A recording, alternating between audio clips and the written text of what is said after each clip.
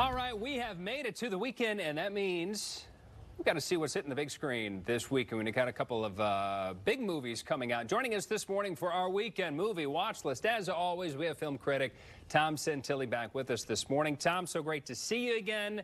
Um, yes. This is a holiday weekend. Some kids are, you know, out of school. It's a longer weekend for some of them. What can people expect to see in theaters this weekend?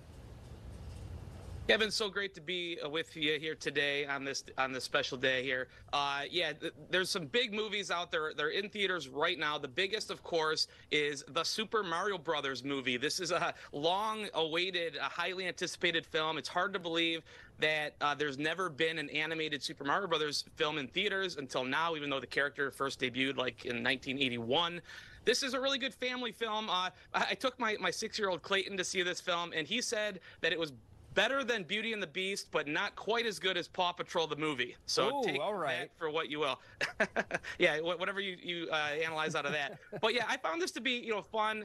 There's a lot of Nintendo references. There's a lot of stuff in the film that people will kind of smile at. You know, could it have been better? Sure, but was it good enough and kind of what people expect? Absolutely. Uh, the other film that's in theaters is a movie called Air. This is the story. Uh, this is directed by Ben Affleck, and it stars Matt Damon, Viola Davis, Justin, uh, Jason Bateman. And uh, this is the story of how Michael Jordan was signed by Nike uh, and and started the Air Jordan, which of course was like you know revolutionized the shoe industry. It's a really good movie. Uh, it's fun, and you know I think people will get into that as well. So a couple good choices this weekend at the box office. Yeah, I definitely want to see that one. And then yeah, I was kind of bummed. I heard you know these are people that don't have necessarily uh, backed you know credits, but you know through social media I just see people say, hey, I saw Mario, and it was like you know, it hit some nostalgic points, but it just wasn't, they didn't feel like a great movie. But I think to your point, it's got to be like, a, the kids are going to love it, right?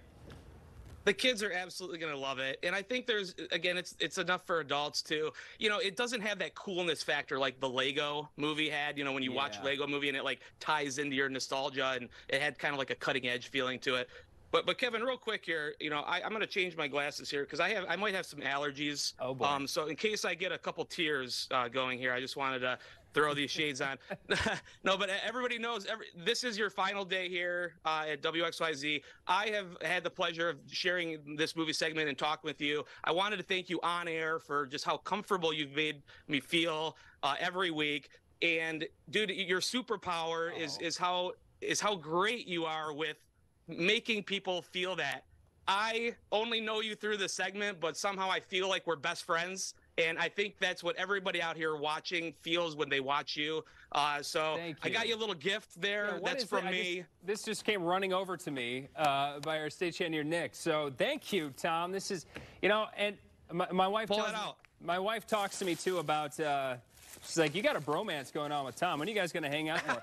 oh, man, look at this. We got John Wick. Oh, and then because you told, I me, you, you told me a couple weeks ago that you've never seen the John Wick, so I had to get you that. And then I know you're from Chicago, and so, but there was a part of me that was like, dude, if he's never seen Blues Brothers, I just, that doesn't sit well with me. So I had to get you the greatest Chicago movie of all time. Man. There's also some John Wick swag in there, including an hourglass uh, and a John Wick shirt. There you go. There's two of them.